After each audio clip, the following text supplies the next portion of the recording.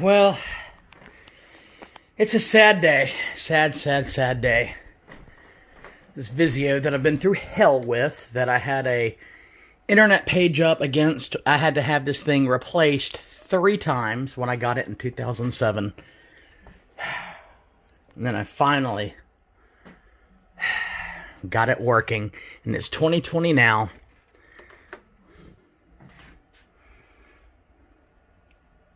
And it worked. I got my $600 worth out of this thing.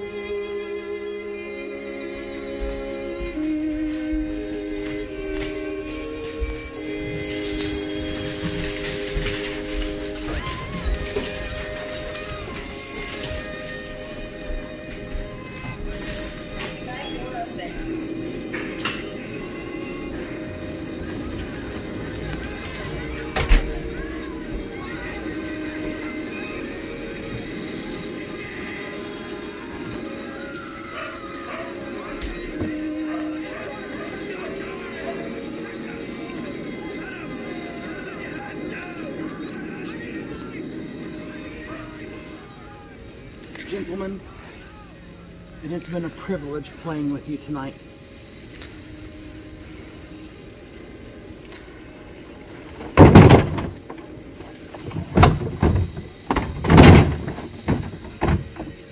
Turn the camera off.